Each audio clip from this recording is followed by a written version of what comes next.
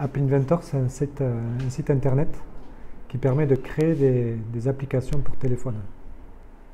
C'est-à-dire qu'on peut carrément choisir euh, l'aspect que va avoir l'application et on peut aussi la, programmer. On peut coder avec des blocs tous les éléments que l'on a pu mettre dans l'application. Si on veut mettre des images, des vidéos, on peut utiliser tous les capteurs du téléphone et en faire ce que l'on veut. Alors je vais faire une présentation de toutes les fonctionnalités de, de l'App Inventor comment on se connecte, comment on fait pour euh, améliorer l'aspect de l'application, comment on fait pour programmer. Et après, je vais faire une petite démonstration. Je vais demander aux, personnes quelle application ils veulent faire et puis on va, essayer de la fabriquer. Et après, je vais montrer comment on fait pour l'installer sur le, téléphone. On peut tester directement avec son propre téléphone et l'installer sur le téléphone et ensuite l'avoir pour chez soi. Donc avec les élèves, je fais ça souvent. C'est eux qui choisissent quelle application ils veulent. Ils veulent ils se la font et après euh, ils l'ont chez eux.